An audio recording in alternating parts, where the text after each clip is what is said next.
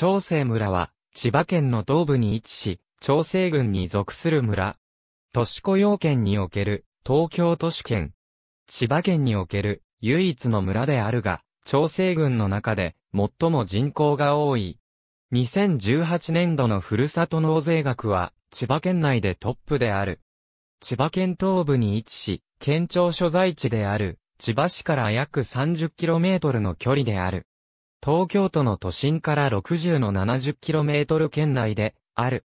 都市雇用圏における、東京都市圏に含まれ、茂原市への通勤率は26.1%、太平洋に面し、九十九里平野の南部に位置する。地形は緩やかで起伏は少ない。村域には農業用水用のため池が点在している。平成27年国勢調査より前回調査からの人口増減を見ると、2.66%減の14,359人であり、増減率は、千葉県下54市町村中26位、60行政区域中32位。人口は長く増加傾向にあったが、現在は減少に転じている。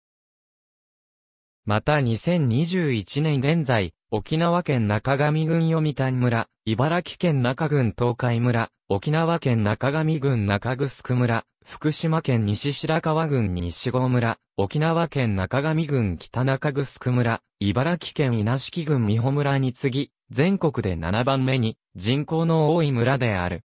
県議会国政文化施設宿泊施設村内には、観光者向けの民宿、宿泊施設が点在している。ハッピーサイエンスユニバーシティ中学校小学校、無認可校八石駅と、長生村コミュニティセンター中心となる駅、八石駅にが、大総合公園失笑植物園で、保護されている長場の石持草の花と補充用、海水浴場海浜レクリエーション地として知られ、夏季には、海水浴客で賑わう。千葉県指定登録文化財一覧。ありがとうございます。